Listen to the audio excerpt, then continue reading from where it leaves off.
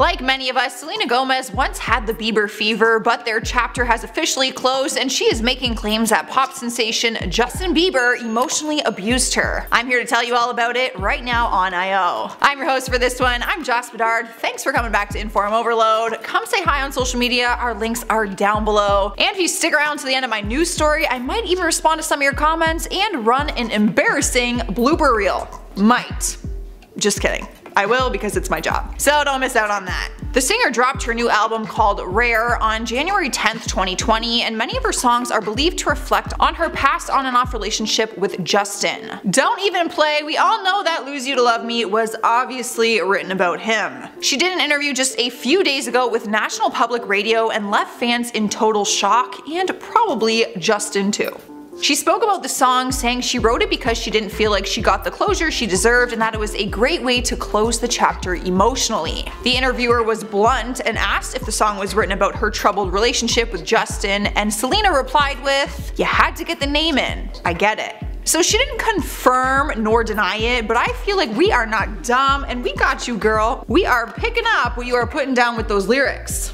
She went on with the interview and claimed that she was a victim of mental abuse. She said, I quote, I'm not trying to be disrespectful, I do feel I was a victim to certain abuse. The singer went on to say that she found strength in it somehow and was able to understand it more as she grew older. She also prided herself on how she has handled the whole situation, explaining that she walked through it with as much grace as possible, which I think many of us will agree with. Let's be honest, sometimes even we find it hard to watch our loved ones move on to someone else.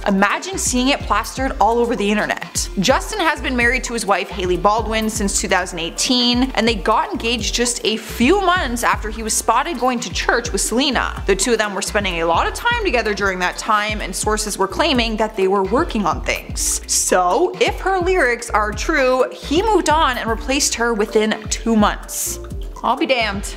But in September 2019, Justin acknowledged some of his past behavior in a lengthy Instagram post. In it, he wrote, I started doing pretty heavy drugs at 19 and abused all of my relationships. I became resentful, disrespectful to women, and angry. So at least he's acknowledging his past mistakes. He did not respond to Selena's recent accusations, nor did Hailey, which is probably for the best. I feel like if they did, this could get sticky real quick.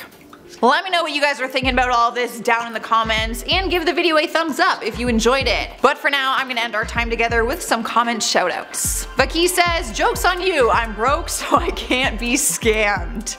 Same. Those influencers can't even fool me because I can't even buy your products. So no scamming happening on my end. Randy Dandy says, I did sugar bear hair for a year and my hair barely grew, LMAO. That does not surprise me. I'm actually happy I've never tried those. I have been tempted, but now you've given me every reason not to.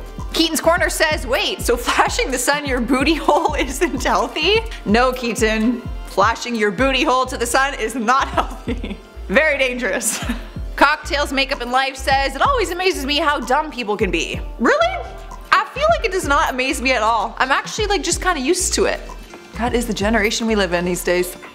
Well, that is all I have for you guys today. Make sure you subscribe if you haven't already and ring the notification bell so you never miss another video. You can also keep watching more of our videos, just stay on the screen, but for now, enjoy these bloopers. Clap. I missed that clap though. I missed that clap. You didn't hit play, boy. I'm like, where is... Okay. Don't even play. We all know that. Luz you? Luz you lose you to love me. Girl, that's a tongue twister of a song title. Uh, I don't like saying booty hole on camera. it feels so weird to say that. Silly Keaton.